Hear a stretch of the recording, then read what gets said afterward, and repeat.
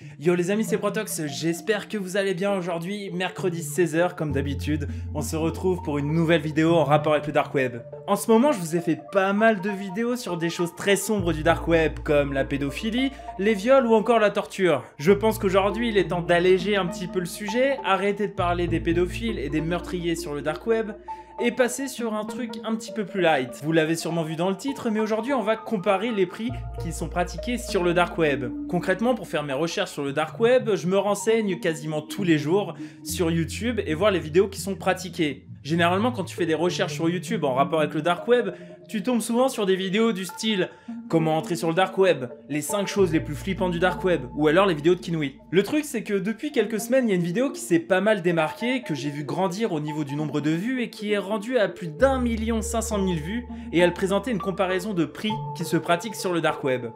Alors à vrai dire, je n'ai pas regardé cette vidéo pour le moment et j'ai bien envie de la regarder avec vous et commenter les prix qui sont décrits dans cette vidéo. Et du coup, j'ai bien envie de voir si les prix qui sont indiqués dans cette vidéo qui a fait un mini buzz sont ceux réellement pratiqués sur le dark web.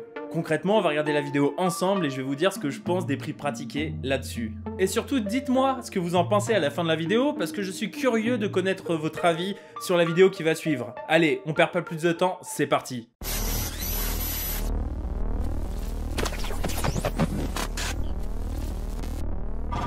Allez, c'est parti. 3, 2, 1, let's go.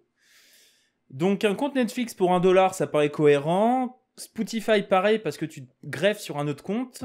Un passeport scanné pour 5 dollars, on l'a vu dans les faux papiers. Pouvoir intégrer un site web pour 6 dollars, ça me paraît assez bizarre et ça me paraît peu cher. Un virus pour 10 dollars, c'est cohérent, j'en ai déjà trouvé. Allez sur ma vidéo sur le hacking. Un compte de réseaux sociaux, 12,99$, ça paraît cohérent. Dans le sens où on peut en trouver une sacrée panoplie sur le dark web, même gratuit. Donc 12,99€, ça me paraît assez cohérent. Ensuite, bon, j'ai stoppé la vidéo, mais on peut voir qu'il y a aussi des cartes de crédit, des informations de cartes de crédit pour 20$ ce qui est plutôt cohérent. Mais généralement sur le dark web, quand on vous donne une carte de crédit, on vous spécifie le montant qu'il y a dessus. Et en fonction du montant qu'il y a sur cette carte de crédit, on vous donne le code et le prix adéquat. Passport template, donc là c'est pour avoir une template de password, donc c'est pas trop compliqué. Uber Credential, wannabe Uber Driver. Donc pour 40 dollars sur le dark web, on peut avoir une licence pour être Uber. Ce que je ne crois pas parce que je n'ai jamais vu de licence Uber en vente sur le dark web. Par contre, des licences Uber Eats, ça existe. Et t'as pas besoin d'aller sur le dark web pour en trouver. Ensuite, on a un live chimpanzé, c'est-à-dire, ça se passe un peu comme les Red Rooms, je suppose. Tu peux voir un chimpanzé en direct faire de la merde pour 50 dollars pourquoi pas. Bulletproof Hosting Service. Donc concrètement, c'est pour les hackers et avoir un site web plus sécurisant. Un faux permis de conduire 150, ça me paraît logique. Un faux diplôme pour 200, ça va, ça reste euh, convenable. Une fausse carte de sécurité sociale pour 250 dollars, ça paraît cohérent aussi. Quoi? Une main humaine pour 385 dollars? Euh, je sais pas pour vous, mais je pense que 385 dollars pour une main humaine, ça paraît un peu léger comme prix. Après, je dis pas qu'une main humaine a un prix, mais ça me paraît quand même assez logique. Rien que les frais de transport me paraissent assez chers pour transporter une main humaine. Enfin bref, passons, je ne pense pas que ce soit réel. Ensuite, on a des logs de banque, c'est-à-dire des identifiants bancaires pour 390 dollars, ça me paraît aussi assez logique. Un pied humain pour 500 dollars. Eh bien, vous savez quoi? Si on atteint 2000 likes sur cette vidéo, eh bien, je vais chercher des morceaux de corps humain sur le dark web. C'est dark, mais dans un sens, je tombe souvent sur des contenus euh, un peu plus hardcore que ça, donc ça me choquerait pas de chercher ça mais ça peut être un bon sujet de vidéo pour vous montrer le trafic d'êtres humains après ma vidéo précédente sur le trafic d'êtres humains. Un tuto pour réaliser de la fraude bancaire à 520 dollars. Bon, ça paraît euh, pas trop exorbitant. La totale euh, pour avoir une nouvelle identité pour 999 euh, dollars, c'est à peu près ce qu'on a vu, donc ça me semble cohérent. Un ransomware pour 1000 dollars par mois.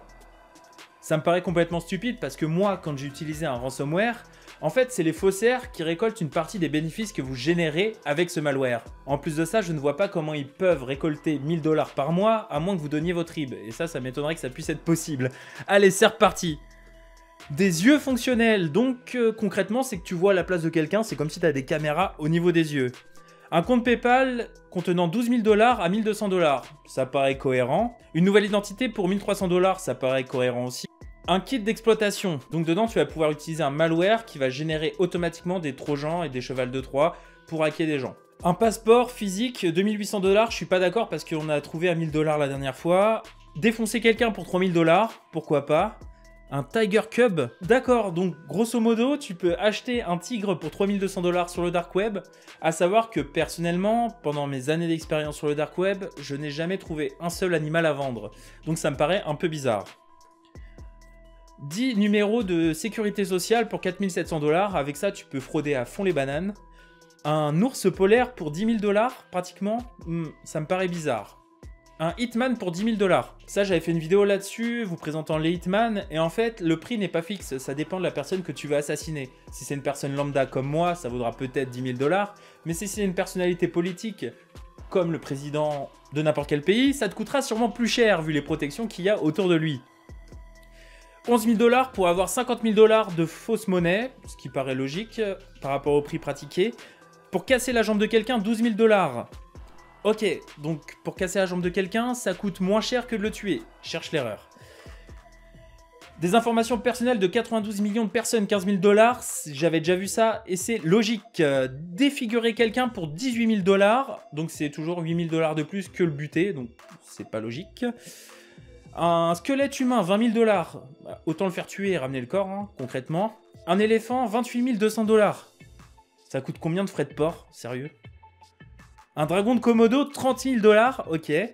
Tuer quelqu'un, 45 000 dollars. Donc concrètement, si t'engages un Hitman, c'est 10 000 dollars, et pour tuer quelqu'un, c'est 45 000. Mais du coup, il fait quoi le Hitman là-dedans? Bonne question. Un tigre vivant, 50 000 dollars, comme Joe Exotic, comme c'est marqué dessus. Si vous n'avez pas vu la série sur Netflix, je vous conseille de la regarder, elle est vachement sympa. Et très bizarre d'ailleurs. Make someone disappear, donc faire disparaître quelqu'un pour 60 000 dollars un foie d'être humain, donc là c'est pour faire une transplantation pour 100 000 dollars. Un cœur humain, 200 000 dollars. Donc là c'est si vous avez besoin d'une transplantation, je suppose. De la bile d'ours, la médecine chinoise. Et pour finir, une attaque au gorille pour 400 000 dollars. Ok. Donc cette vidéo touche à sa fin. Moi personnellement, je ne suis pas trop d'accord avec les prix pratiqués sur cette vidéo. Et donc du coup, en dessous, j'ai vu dans la description qu'il proposait des sources à cette vidéo. Donc on va aller choper les sources et voir un peu ce qu'il propose. Re les amis, du coup, j'ai regardé un petit peu les sources en dessous de cette vidéo YouTube. Et concrètement, rien que quand on regarde les sources sur les animaux, on voit très bien qu'il n'y a aucune référence au dark web de poster là-dessus. Donc de mon point de vue, je ne suis pas sûr qu'ils aient des sources très fiables sur cette vidéo, mais en tout cas c'est bien fun et ça donne un aperçu de ce qu'il y a un peu comme prix pratiqué sur le dark web. Si la vidéo t'a plu, je t'invite à poster un petit like comme d'habitude, à t'abonner à la chaîne et surtout me dire quel style de vidéo tu as envie de regarder avec moi et que je te la prépare avec grand plaisir. C'était Protox pour vous servir, ciao tout le monde